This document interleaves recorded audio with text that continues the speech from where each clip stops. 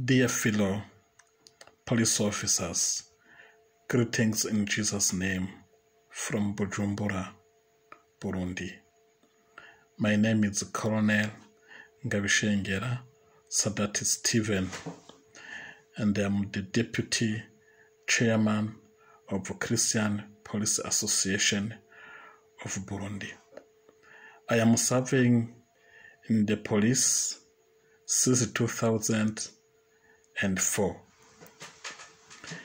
International Day of Prayer for Emergency Services is another God occasion offered to us as police officers to come together to share bad and good experience as we encourage each other. It is also an opportunity given to us to share our different prayer requests. In Burundi, we are grateful to God for His mercy and protection. We thank God that the COVID 19 pandemic disease has significantly reduced and it is not a threat anymore. Brethren, we ask you to pray with us as police officers. And for some of our police officers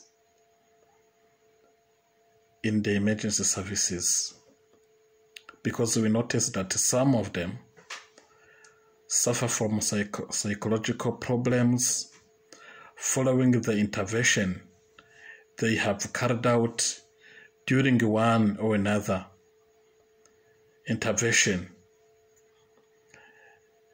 like road accident, fire, or boat sinking, just like the one we had two days ago in Lake Tanganyika.